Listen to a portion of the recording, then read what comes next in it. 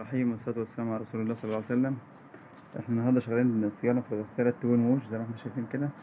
طبعا هي دي الغسالة بتاعتنا اهيت. LG اللي هي واحد وعشرين كيلو. طبعا هي المشكلة بتاعتها إن ال- الترومبة كان فيها مشكلة. نلاحظ كده الترومبة سايبة خالص إزاي؟ الفورة بتاعتها سايبة إزاي؟ مفيش أصلا ما عادش. اهي الفورة بتعمل إزاي؟ اهي. فهي ما كانتش بتصرف المية كانت بتديني OE.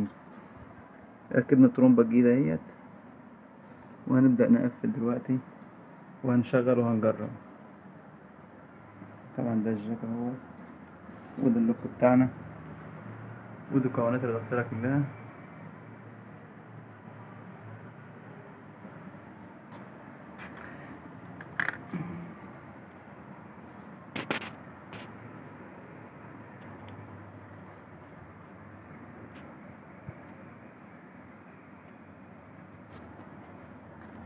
طبعا في هنا عندي آه، مسمارين ثلاث مسامير اللي هو الألانكيه بيبة نظام بيبة عشرة واحد هنا وواحد هنا وفي واحد ورا في النص لازم بيتفكوا عشان أحرر واطلع بال- بالكفر بتاع الترومبات.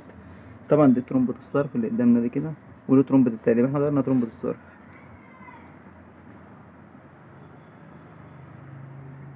هنقفل الغسالة دلوقتي وهنبدأ نجرب.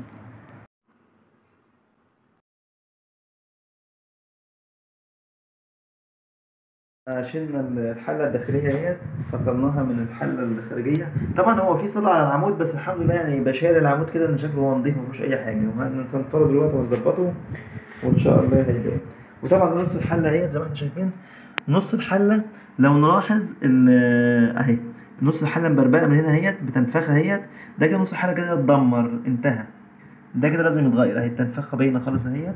عندي من الجهة دي بالتحديد أهي. ده كده انتهت خلاص كده. بقت قشرة اهي. ظاهرة؟ ده نص الحلة بتاعنا. طبعا هنشيل السخان ونجيب نص حلة جديد وهنركب الجزء بتاع الدراير برضه عادي.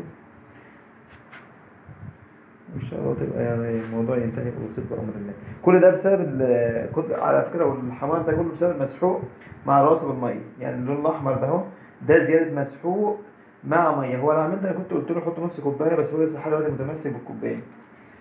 فيعني يا ريت العميل ده يسمع الكلام وما عادش يحط أكتر من نص كوباية. يا ريت عشان ما نوصلش لمرحلة تاني. ربنا يستر. وده الريسيت بتاع ال- الغساله هو طلع لوحده أصلا. والحلة اللي هي الداخلية زي ما إحنا شايفين برضه الحمار ده كله مسحوق. ده كلها مواد كيماوية. وإحنا قايلين يا جماعة ما نعديش عن نص الكوباية مسحوق. نص العبوه بتاعه المسحوق. هي نصها فقط تغيير تلات أرباع نص الكوباية في الناحية الكبيرة والربع في الناحية الصغيرة. إحنا المسحوق عندنا هنا بيسبب لنا مشاكل كتير جدا مع العملاء. فربنا يستر. إن شاء الله نجيب النص حلقة ونركبه ونكمل بقى إيه آه في يوم تاني لأن نص حلقة مش موجود معانا النهارده. والسلام عليكم ورحمة الله وبركاته.